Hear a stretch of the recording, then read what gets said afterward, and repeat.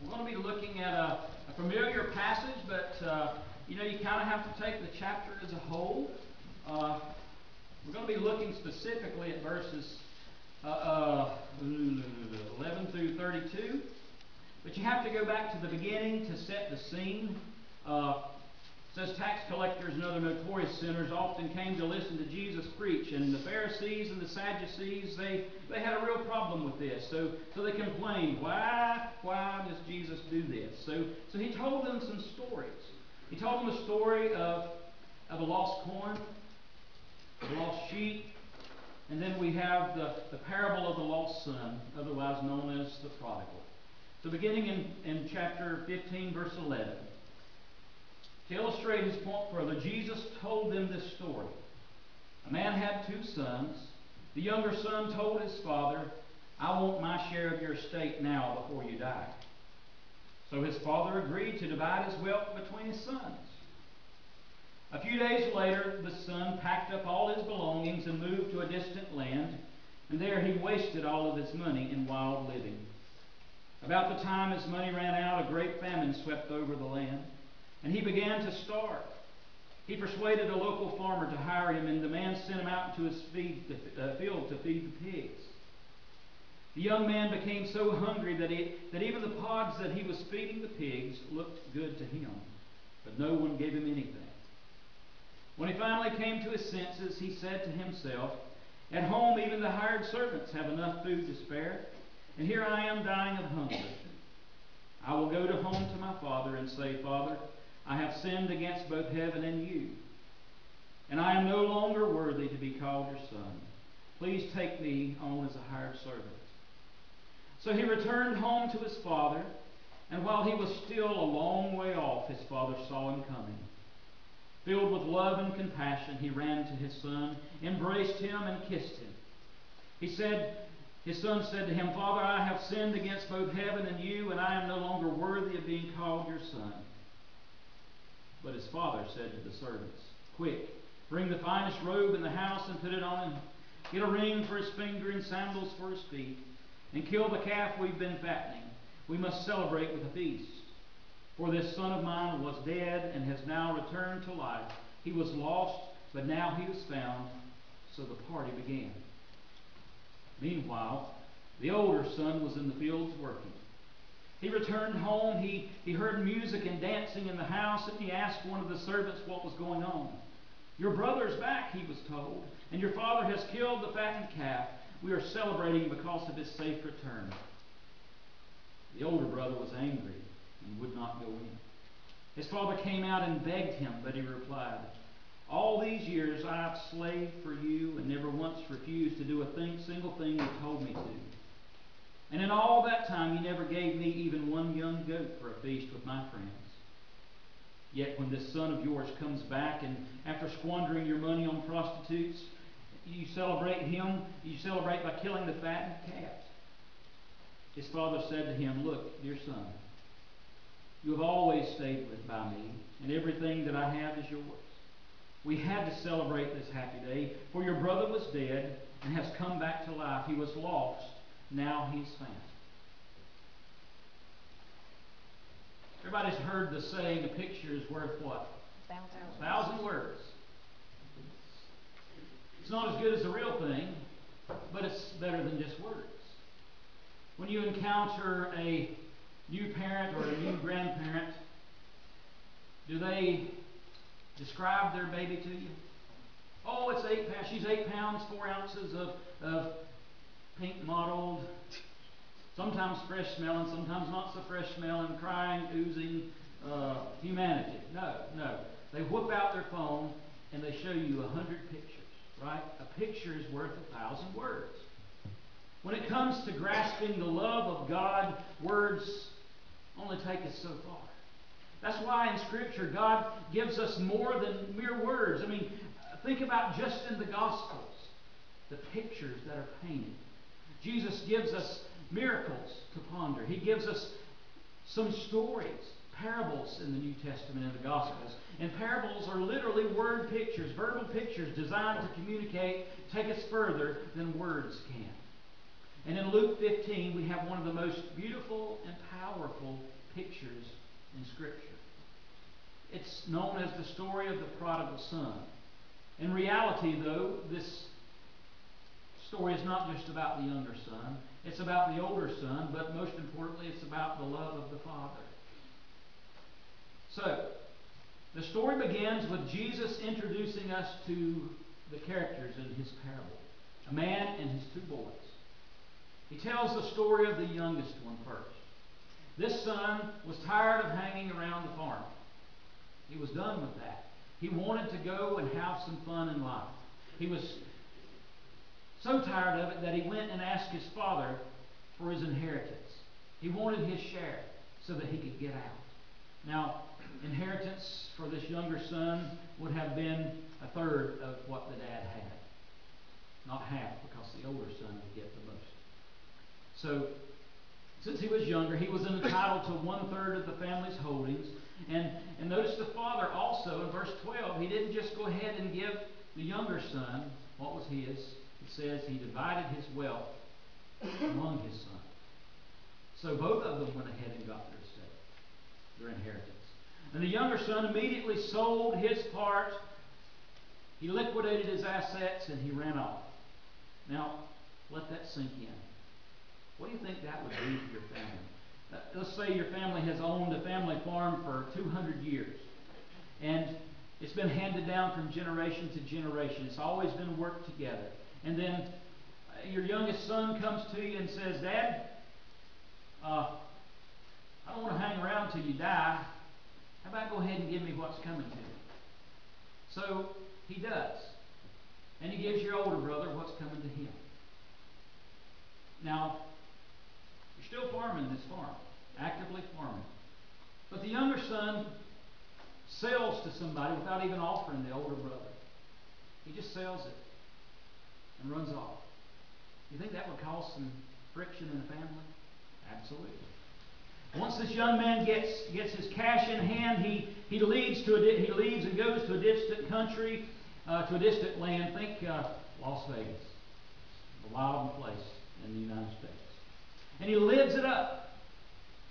This is the high point of his young life so far. He's never had so many friends. He's, he is one popular dude. He has the nicest clothes. He is enjoying the greatest meals at the most upscale restaurants. He attends shows and he signs a contract for a, a luxurious penthouse to rent. Life is good.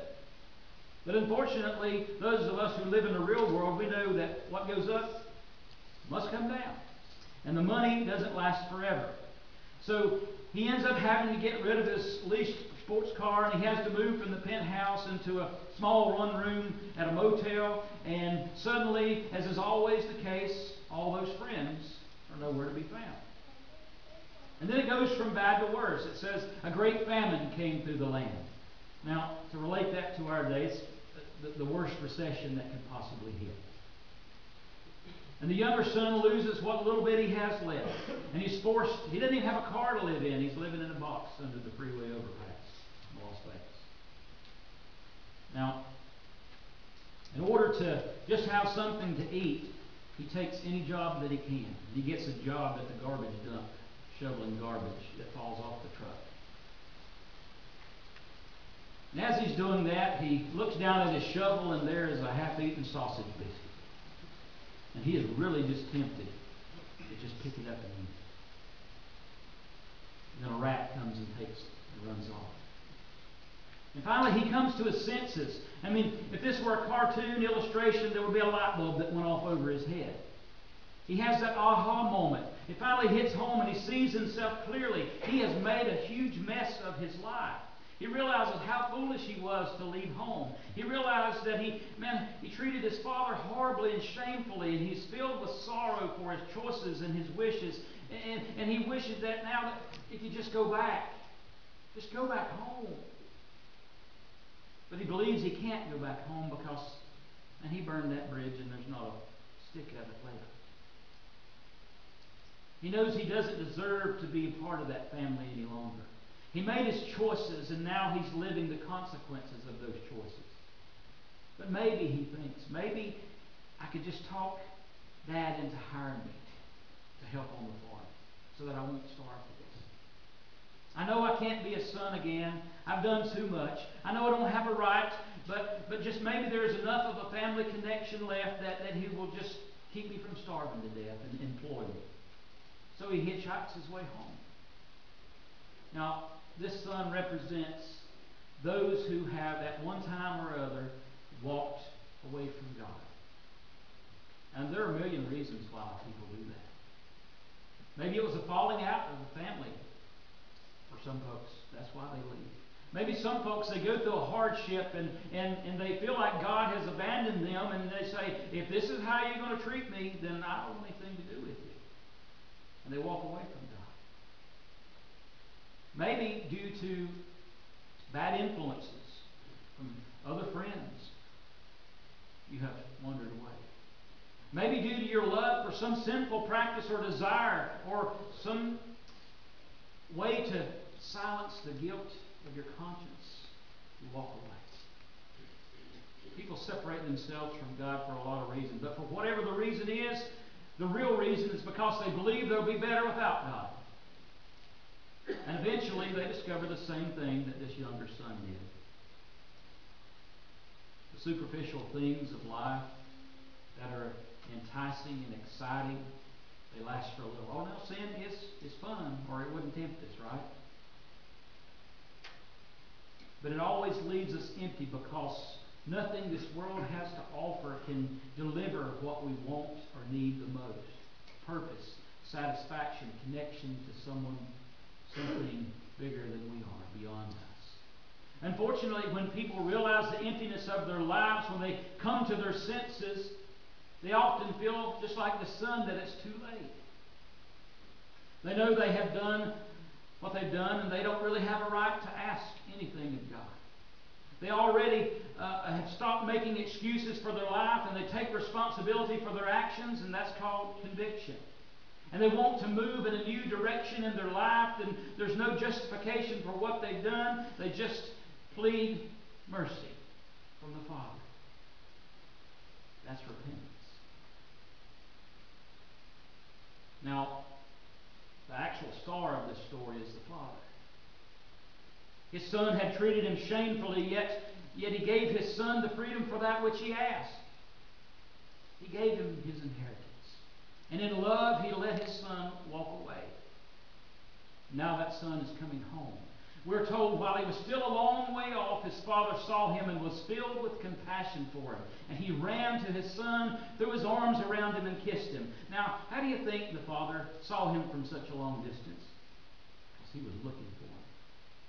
Ever since he left, every day, you know, he was looking, scanning the horizon, waiting for his son to come back. And when he saw him coming down the road, he didn't rehearse a speech of rebuke. He didn't turn his back on him and walk away. Instead, he threw off all dignity and he ran and he embraced his son. And he welcomed him back into the family. It must have been something like a, a father embracing a child, a son who had gone away to war, and, and the, the father received a, a notification from the government that he was missing in action and assumed dead. And then one day, the bus pulls up out front, and that son comes home.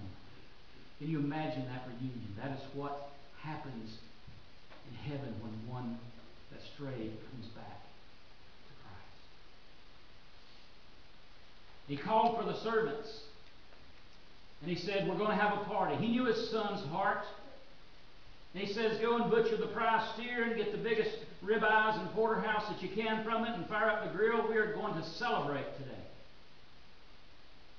I was reading a, a commentary on this passage from, from a guy named Tim Keller. And he writes, the word prodigal doesn't mean exactly what we think it does. Now, in our notion, we think that prodigal means wasteful. That someone has gone their own way and just wasted everything they had. But it actually means recklessly spending all your resources. If you think about it, the term prodigal actually applies to the father as well. The father welcomed the repentant son with reckless abandon. No holds barred. Accepted him back. Spend it all for him. That's prodigal. This is the kind of love that God has for each one of us.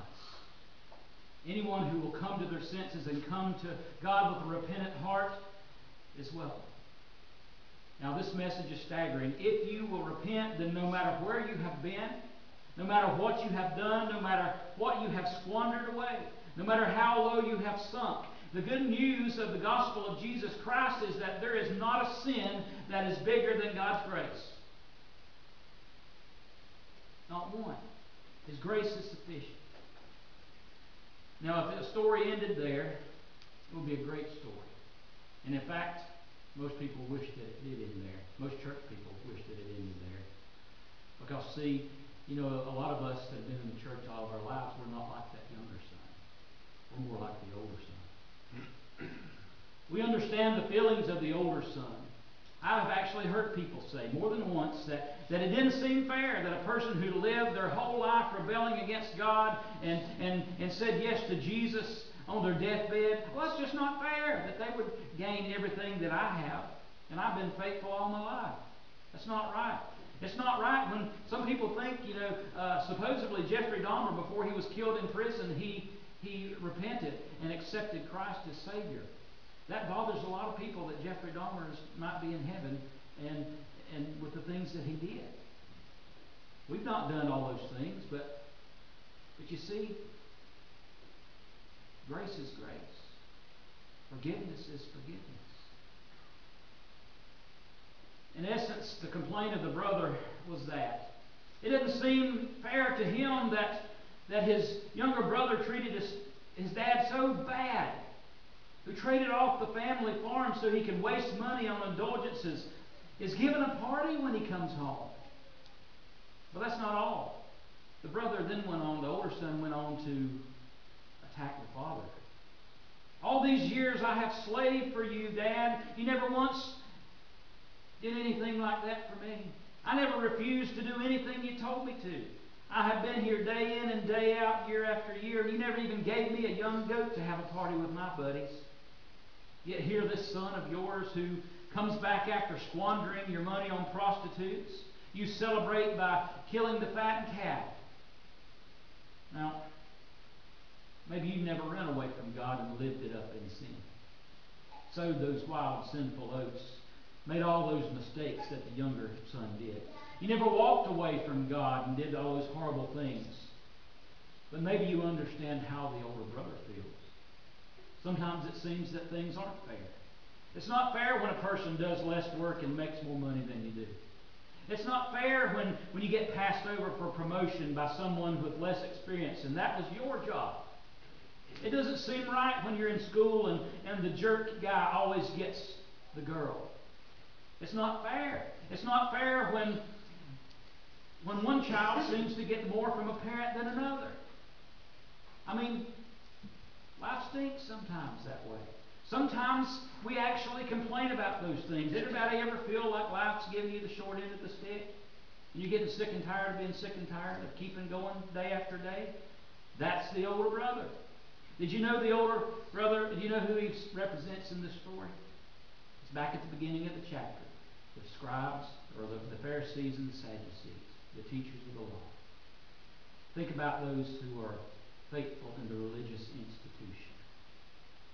That's the older brother. Jesus shows us in his parable here, in his word picture, that you can look like a good person on the outside. You can keep all the rules. And you can still be far away from God on the inside. The younger brother was a long way from his father in a distant land, it said. The older brother was just as far, just as estranged from his father, but living under the same roof. And here's the truth about sin it's not just breaking rules, it's not just about distancing ourselves from God, but it's also about putting ourselves in the place of God. And in reality, that's what the older brother's doing. What did he want most? If we think about it, we realize that he wanted the same thing as his younger brother did. He was just as resentful of the father as the younger son was. He too wanted the father's goods rather than a relationship with the father himself. But while the younger brother went far away, the older brother stayed close, never disobeyed, and resented it every day. especially after his brother came home. His unspoken demand was, I have never been, have never disobeyed. I've never done anything wrong against you, Father. Uh, now you have to do what I want you to do. You have to do the way, the things the way that I think they need to be done. The older son missed the fact that even though he was, quote, the better child, he was still just as dependent on the Father's grace as the younger brother was. Sometimes we as Christians, we become like the older brother when we begin to believe that we deserve God's blessings, that God owes us something because we have avoided the most blatant and dis- distasteful sins in the world. I didn't do none of that stuff, so God owes me.